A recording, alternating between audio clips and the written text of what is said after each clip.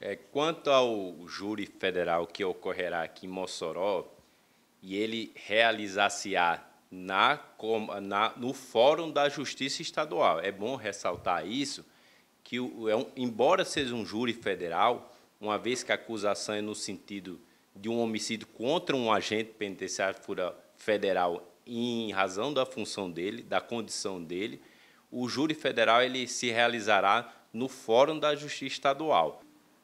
Os réus, eles todos os quatro réus, os quatro acusados, inclusive três estão no sistema penitenciário federal e um no sistema estadual, irão comparecer nesse dia do júri federal, que ocorrerá agora na quinta-feira, a partir das 8 horas, conforme eu frisei, no Fórum da Justiça Estadual da comarca aqui de Mossoró, e será aberto, e é bom ressaltar isso, será aberto a toda a sociedade de Mossoró.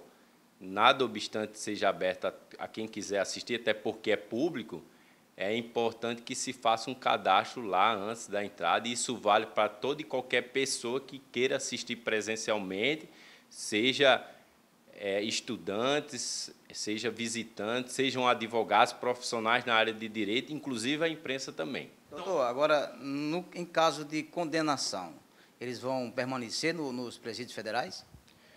Em caso de condenação, porque eles podem ser absolvidos, porque quem decide é o conselho de sentença formado pelos sete jurados, cabe ao juiz presidente, no caso sou eu, apenas definir a quantidade de pena, uma vez sendo condenados, porque podem ser absolvidos. Como eu disse, depende do que decidiu o Conselho de Sentença. Uma vez se for condenado, eles continuam no sistema penitenciário federal.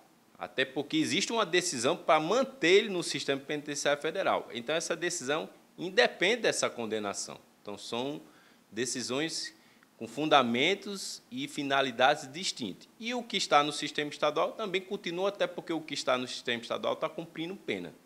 Tanto é que está em Alcaçuz, com a cooperação de todas as autoridades, sobretudo da Polícia Federal e do Departamento Penitenciário Federal e da Secretaria de Segurança, no sentido de remover, recambiar esses presos, seja dos presídios federais, seja de um presídio estadual, já está todo, já está toda finalizada, ultimada esses, esses, esses procedimentos.